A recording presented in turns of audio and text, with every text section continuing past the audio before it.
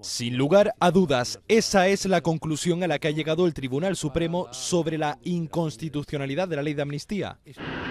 La iniciativa adoptada por unanimidad por los cinco magistrados que componen la sala detalla que los actos amnistiados vulnera varios preceptos de la Carta Magna. De manera tajante se pronuncia el Supremo sobre la causa del Prusés y los actos ocurridos el 1 de octubre. La ley, por ejemplo, establece que los acusados que lanzaron piedras y adoquines a los juzgados de Girona deben ser amnistiados porque se realizó, dicen, en base a una opinión política. Pero desde el alto tribunal afirman que quienes realizaron estos hechos lo hicieron animados por el propósito de culminar un golpe de Estado. Una norma que sostienen hace que exista preferencias o privilegios a la hora de aplicarla.